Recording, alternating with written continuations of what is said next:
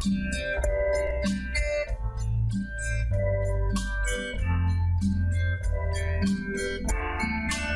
চীনের রাজধানী লড়াইয়ে তৈরি ভারতীয় সেনা। আন্তঃমহাদেশীয় ব্যালিস্টিক মিসাইল অগ্নি পাঁচ শীঘ্রই ভারতের সেনাবাহিনীর অন্তর্ভুক্ত হবে। মিসাইলের আওতায় চলে আসবে চীনের একটা বড় অংশ, যা দেশের সেনাবাহিনীর ক্ষমতাকে অনেক বাড়িয়ে দেবে। পাঁচ হাজার কিলোমিটার দূরের বস্তুকে আঘাতের ক্ষমতা রয়েছে অগ্নি পাঁচ ক্ষেপণাস্ত্রের। এই ক্ষেপণাস্ত্র পারমাণবিক অস্ত্র বহন করতে পারে। কিছুদিনের মধ্যেই এই ক্ষেপণাস্ত্র স্ট্র্যাটেজিক ফোর্সের কমান্ডের হাতে তুলে দেওয়া হবে বলে জানা গিয়েছে। স্ট্র্যাটেজিক ফোর্সেস কমান্ডের হাতে তুলে দেওয়ার আগে অনেকবার এর সক্ষমতা পরীক্ষা করা হয়েছে।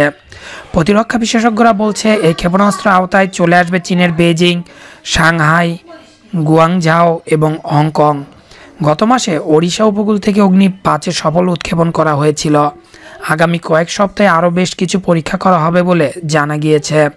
ভারত ছাড়াও যেসব দেশের হাতে আন্তঃমহাদেশীয় ব্যালিস্টিক মিসাইল রয়েছে, তারা হলো আমেরিকা, চীন, রাশিয়া, ফ্রান্স, উত্তর কোরিয়া।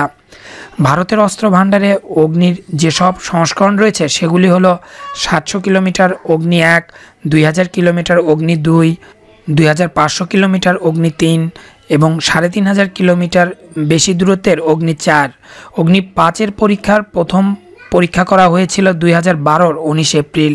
পরের পরীক্ষাটি হয় দুই হাজার তেরোর পনেরো সেপ্টেম্বর। তৃতীয় পরীক্ষাটি হয় দুই হাজার পনেরোর একত্রিশে জানুয়ারি। চতুর্থটি দুই হাজার ষোলোর ছাব্বিশে ডিসেম্বর এবং পঞ্চমটি হয় এবছরের আঠারো জানুয়ারি।